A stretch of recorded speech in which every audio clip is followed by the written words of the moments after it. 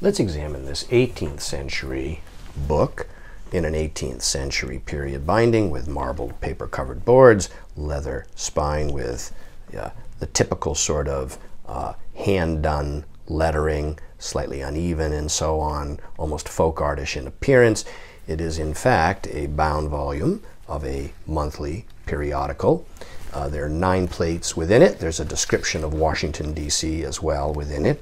This is here we see the title page, London, 1793. Uh, Engraved frontis here, uh, allegorical.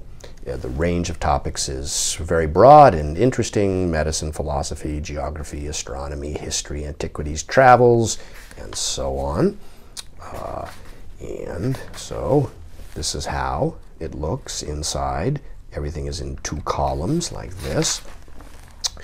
Uh, it does uh, is lacking some plates uh, according to the list of plates at the rear, which is typical for periodicals of this date. In fact, is actually somewhat common for books of this date, uh, but especially periodicals. It does, though, however, contain this uh, English county map here, uh, like so, of Norfolk. And we'll go through the rest of the book.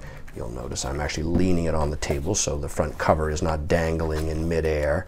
That is always a very bad thing to do with antiquarian books. You never want to leave the front cover dangling. Uh, and there is a uh, country house, a British country house. And here we encounter uh, Northamptonshire, another English county map engraved, copper engraved like so, with, for instance, a facing description like this. Here's an essay on natural beauty. Here's a meteorological journal for the month of August, day by day, uh, the weather, the wind, and so on. Here are the proceedings of the Parliament of Great Britain, and that just gives you just a touch or a taste of the a sampling of the contents, the range. There's letters, uh, and like I say, there was the description of Washington D.C.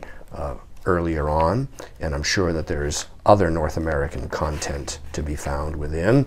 Here is a view of a bridge in Switzerland.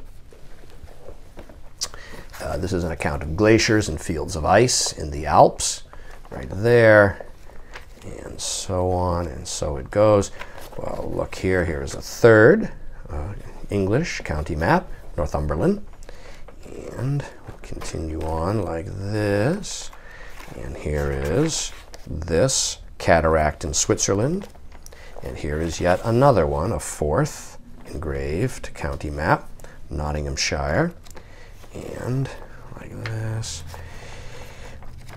Now look, here's a fifth one, Oxfordshire. So there are five uh, engravings, uh, five county maps rather.